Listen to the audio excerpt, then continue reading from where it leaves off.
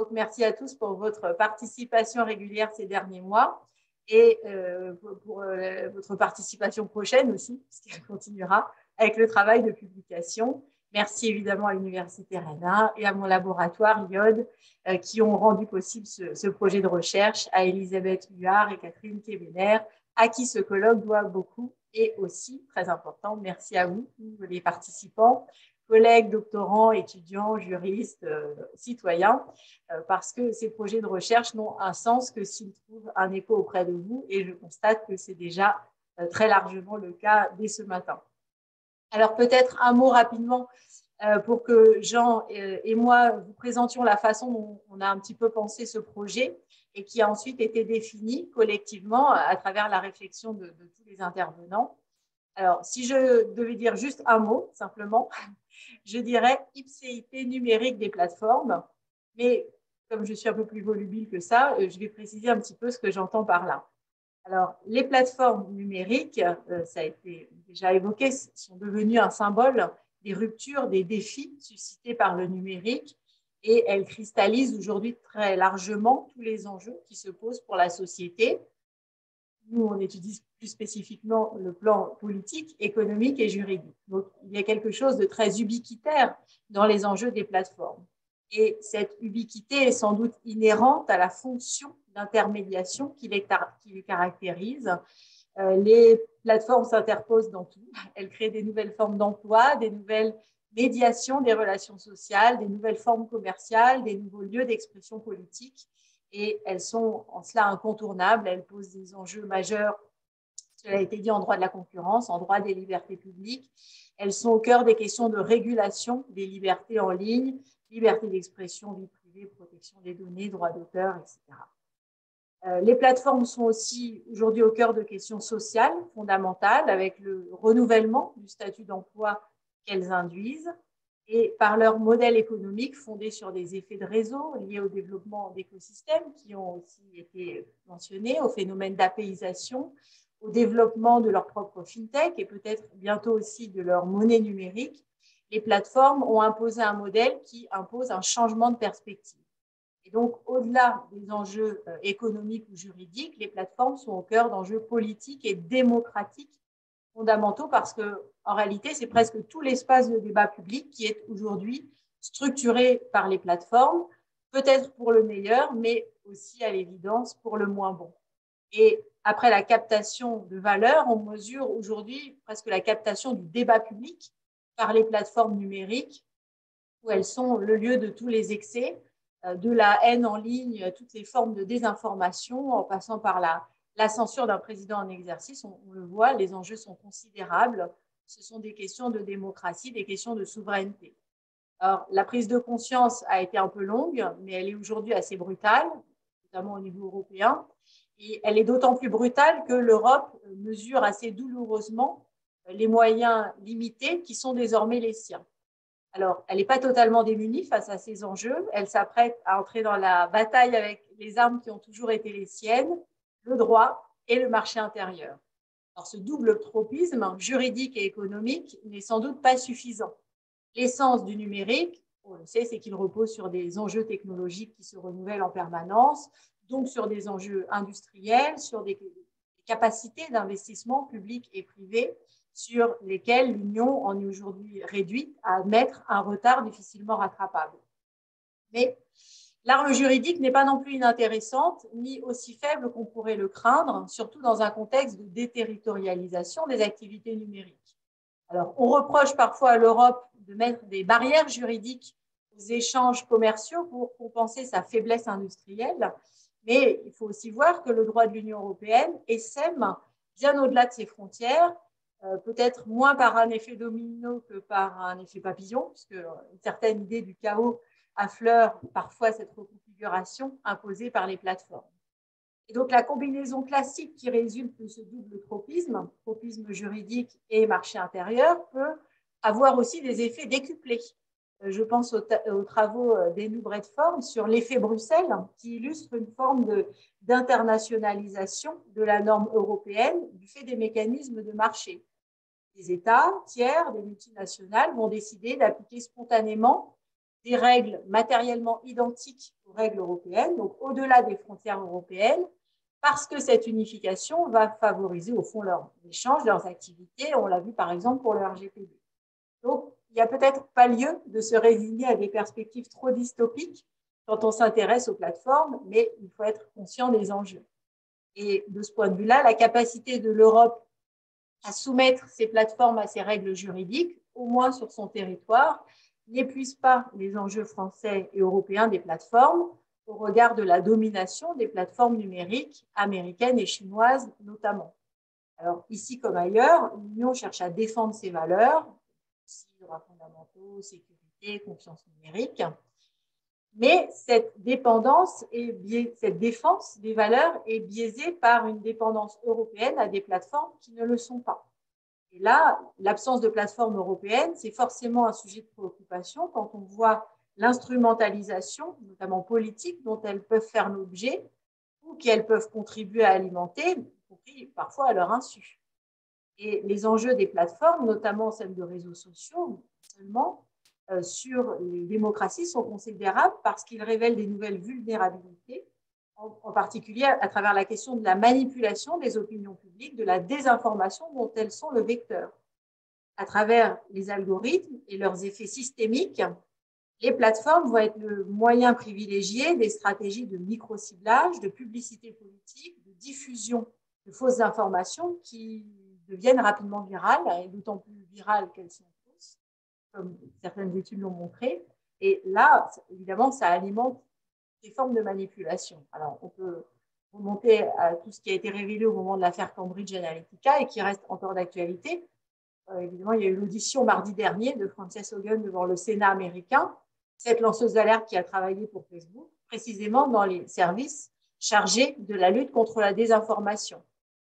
leurs algorithmes de classement, de recommandation peuvent être manipulés par des euh, actions euh, non authentiques et coordonnées les algorithmes des plateformes, surtout pour les plateformes américaines, sont conçus pour mettre en avant les contenus susceptibles d'attirer l'attention. Vous avez parlé, Madame la députée, de, l'économie de l'attention. Il va falloir réguler.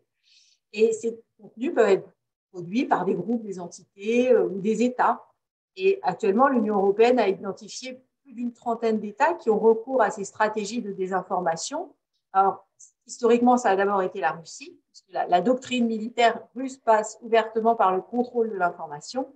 Et aujourd'hui, on pense aussi très fortement à la, Chine qui assume cette stratégie. Hein. Il y a un rapport récent de l'IRSEM sur les opérations d'influence chinoise qui montre comment les grandes plateformes numériques chinoises, WeChat, TikTok, etc., participent de cette stratégie d'influence dans la collecte des données dans la diffusion des informations. Euh, je rappelle que WeChat, c'est le troisième réseau social le plus populaire, avec plus d'un milliard d'utilisateurs, plus de 50, millions, euh, plus de 50 milliards de messages envoyés chaque jour, et de plus en plus par des non Et donc, beaucoup de, de, travaux ont montré que WeChat permet des formes de surveillance, de censure, que c'est un moyen de propagande, de désinformation, et que c'est une plateforme qui est utilisée par les autorités chinoises pour surveiller, intimider, diffuser des fausses nouvelles, des théories complotistes il y a les enjeux électoraux, mais alors euh, la pandémie euh, a, suscité son lot, euh, l'OMS parlait d'infodémie.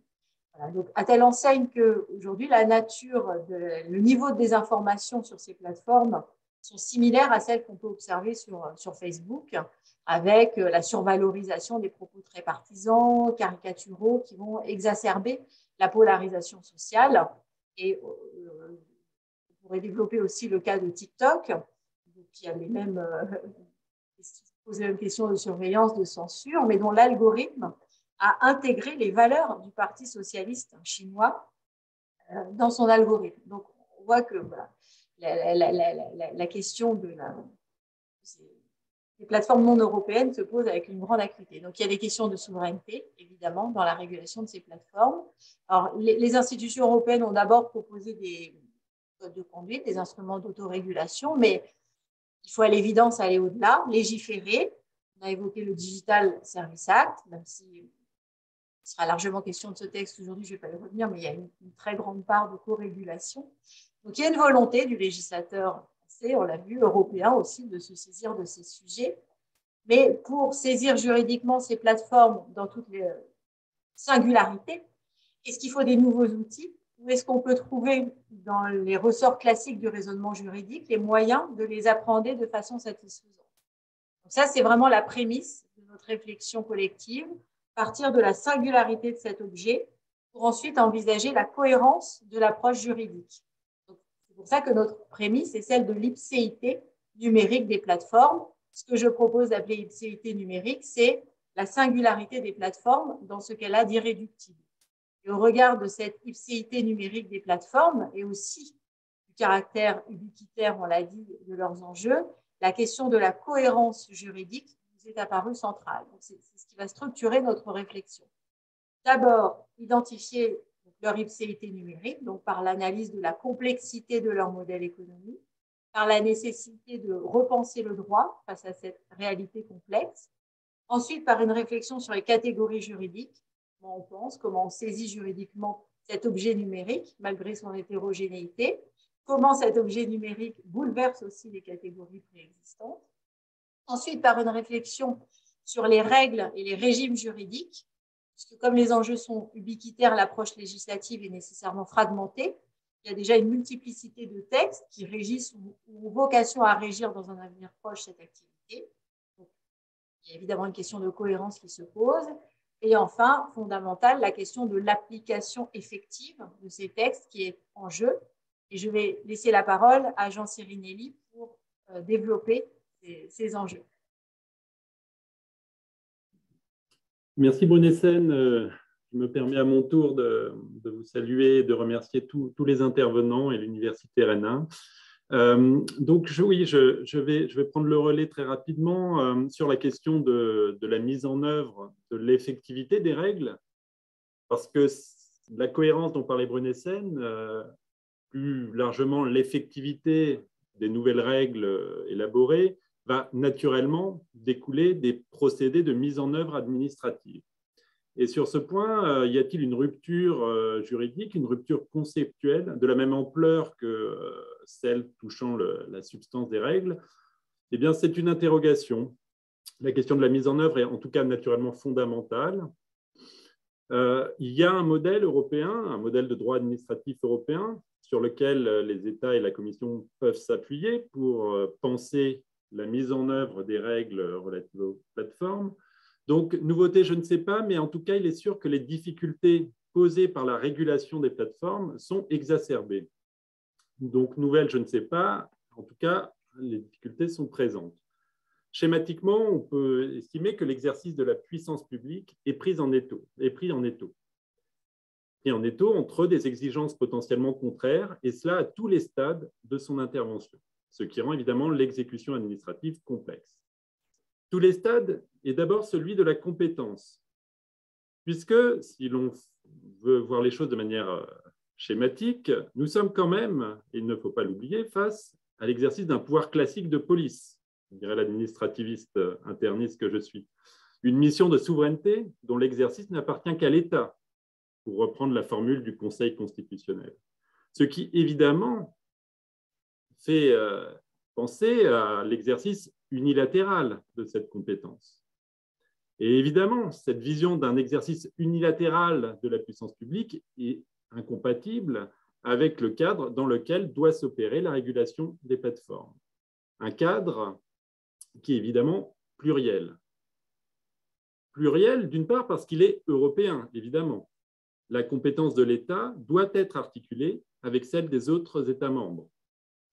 Et de ce point de vue-là, l'apparition formelle de la figure d'un coordinateur dans le projet de DSA, coordinateur, donc, autorité compétente, montre bien l'imbrication des compétences administratives et l'exigence de coopération transfrontalière. Et tout cela révèle in fine la complexité du cadre administratif européen. Cadre administratif européen et d'autre part cadre administratif ouvert, puisque la régulation appelle l'appui des utilisateurs. Celle-ci est nécessaire finalement, c'est une condition de la garantie des règles prévues par le droit de l'Union. On est donc ici face à une forme de Van Genenloos 2.0. C'est la vigilance des utilisateurs qui, qui permettra, le cas échéant, au cadre européen de surveillance d'être effectif. Mais évidemment, la place laissée à ces utilisateurs interroge du point de vue de l'exercice de la puissance publique. Elle appelle certainement une logique de hiérarchisation avec l'apparition du signaleur de confiance qui appellera évidemment en retour une nouvelle intervention publique, peut-être dans des formes plus classiques, d'agrément par exemple, mais voilà, qui montre bien qu'à tous les stades, l'autorité administrative devra intervenir. Cadre administratif ouvert parce que les utilisateurs sont un élément incontournable de la régulation, mais les opérateurs visés le sont également. Dès lors que la régulation des plateformes peut passer par des mécanismes de réponse graduée ou par des procédés d'autorégulation, le comportement des entreprises devient un élément incontournable de l'effectivité des règles. Ce qui, encore une fois, tranche avec finalement la vision de l'exercice d'un pouvoir d'autorité de police. Donc, stade de la compétence pour agir, stade également au stade du pouvoir d'agir. Puisqu'à nouveau, on a une certaine contradiction, avec d'un côté certainement le désir d'agir de l'État. Les fausses informations, la haine en ligne, ce sont évidemment des sujets sensibles, souvent posant des problèmes politiques, le cas échéant. Donc, sujet sensible, public, qui appellera peut-être de l'État le désir d'une intervention immédiate, efficace. Et évidemment, ce désir d'agir se heurte avec le cadre de coopération imposé par le droit européen. Fondamentalement, ce cadre de coopération, il implique la confiance mutuelle entre les différentes autorités nationales ou européennes. Il faut donc que l'État admette que la protection de son ordre juridique de ces valeurs puisse être assurée par le truchement d'une autre autorité européenne, le cas échéant. Or, s'agissant des plateformes, il peut exister des interrogations autour de cette confiance. D'une part, les traditions juridiques, sociales ne sont pas les mêmes entre les pays européens, a fortiori s'agissant de la liberté d'expression. Si l'on considère comme en droit français, que la dignité de la personne humaine fonde finalement l'interdiction des discours de haine, peut-on alors estimer que ce principe de dignité fait l'objet d'un consensus au niveau européen? Certes, le principe existe dans la jurisprudence de la Cour de justice, comme le montre l'affaire Omega. Pour autant, y a-t-il un standard européen homogène qui permettrait une application cohérente des règles? Ce n'est pas certain. En tout état de cause, lorsque l'on constate les crispations dans le domaine de la conservation des données, dans le cadre de la problématique de la surveillance de masse, eh on constate que dès lors qu'il n'existe pas de consensus politique ou social au niveau européen, la traduction juridique des exigences européennes devient plus délicate. Les traditions divergent, mais également les intérêts divergent, car évidemment, des intérêts économiques peuvent interférer, euh, évidemment, lorsqu'ils sont liés à la problématique de l'établissement des plateformes dans les États membres. Et cela peut, du coup, affecter l'exécution par les États de leurs obligations européennes. Et finalement, dans ce cadre européen, il me semble que la question de la gestion de la carence de l'action devient essentielle. Il faut pouvoir penser et mettre en œuvre la gestion de l'inertie, du manque de réactivité. Alors évidemment, l'intervention subsidiaire de la Commission européenne peut être un remède. Dans des cas exceptionnels, l'exécution directe peut être une garantie de l'effectivité d'action et pallier l'inertie d'un État. L'intervention exceptionnelle d'une autorité nationale peut être également envisagée en cas d'inertie finalement de l'autorité nationale normalement compétente. Ce sont des moyens de surmonter les difficultés d'exécution des règles européennes, mais évidemment cela implique en retour du temps, des procédures, bref, de l'insécurité juridique et des risques d'efficacité administrative. En tout cas, cela oblige à un arbitrage, une conciliation entre le respect du cadre administratif européen et la nécessité d'une effectivité de l'action. Et cet arbitrage n'est pas aisé. La Cour de justice y a essayé euh, dans le domaine de la protection des données par sa décision Facebook de juin dernier, mais euh, sa prudence montre la sensibilité de la question. Pour finir, compétences, mais également tout simplement capacité d'agir. Et je finirai là-dessus. Vous avez euh, ici, mais ce n'est pas propre peut-être au secteur, la difficulté à concilier d'un côté la formalisation croissante exigée pour l'exercice d'un pouvoir de contrôle et de sanction qui porte atteinte aux libertés fondamentales. Impartialité contradictoire. Formalisation renforcée par le contexte d'enquête transfrontalière. Bref, les progrès du droit entraînent une dilution de la puissance publique, une dilution dans le formalisme juridique, qui n'est pas problématique en soi, évidemment, mais qui interroge s'agissant des plateformes. Puisque nous sommes bien sûr dans un domaine où la rapidité est la clé de l'effectivité de l'intervention publique. Un domaine où il s'agit moins de punir un comportement que de mettre fin le plus rapidement possible à ses effets. Et donc ce compromis entre effectivité et formalisme protecteur des libertés rend la recherche de la bonne procédure délicate.